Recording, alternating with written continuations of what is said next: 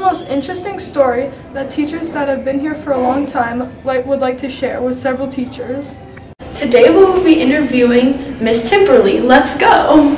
Go, go, go, go, go, go, go, go. Um, what class do you teach at Emerson? I teach all levels of French and I also teach sixth grade Spanish. When did you start working at Emerson? I was here when we opened in two, th- er, sorry, 25 years ago. Um, what's the most interesting interesting thing you've witnessed during your time here at Emerson?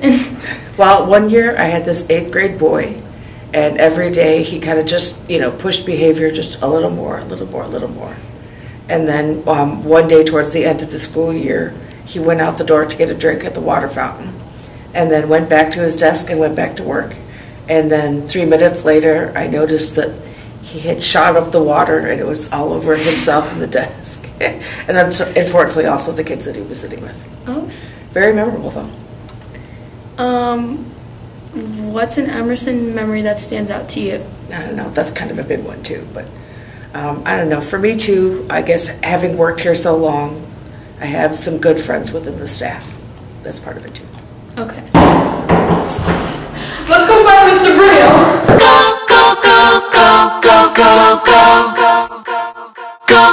Hi, I'm Emily, and this is Mr. Dobrydnio. Hi, Uh, what class do you teach? I teach science and social studies for eighth grade this year. Uh, when did you start working at Emerson? Um, I know it's been over five years, but I'm still under the 10 year mark. Alright. What's the most interesting thing you've witnessed at Emerson? Um, hmm, that's a tricky question because being here for such a long period of time, I feel like, and working with middle schoolers every day is a very interesting experience because something always happens. Um, I could say today, um, I had a student that was lying on a table. I would say that was quite interesting.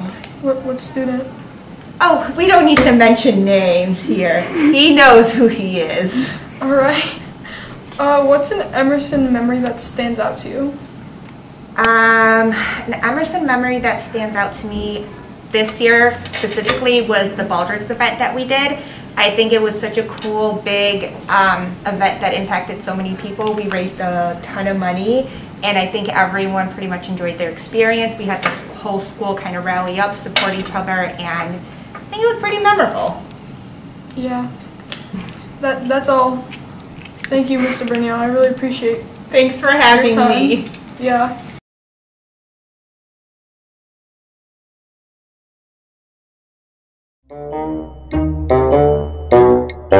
I think I think when we were putting fish heads out the window in Marine Bio and you were just letting it happen.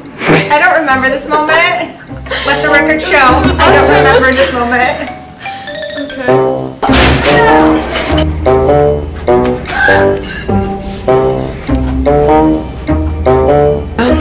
Have six days left of eighth grade. Going. Dentist got it, got it. Everyone knows you're not. Everyone knows you're just skipping math.